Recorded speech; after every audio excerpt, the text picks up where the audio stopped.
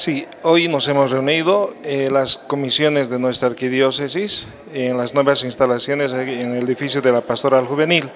Hoy iniciamos prácticamente dando gracias a Dios por la vida y también encomendando nuestra actividad pastoral. Y prácticamente son las comisiones que se están trasladando de los ambientes, las oficinas. La Vicaría Pastoral, la oficina va a seguir en los obispados, evidentemente.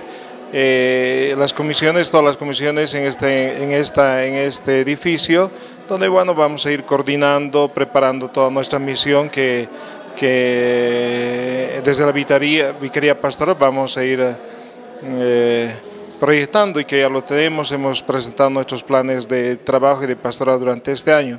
Entonces hoy día es un día especial, evidentemente también va a haber un cambio de, hasta de mentalidad, ¿verdad? Por, el, por los espacios, por, el, por, eh, por la dirección, el separarnos del, del edificio de la, de la, del arzobispado, mmm, evidentemente un poco como que nos, nos bate un poquito de incomodidades a principio, evidentemente. Pero creo que la actividad pastoral vamos a proyectar desde este edificio, que estamos ubicados entre la, sobre la lanza entre la Bolívar y Sucre.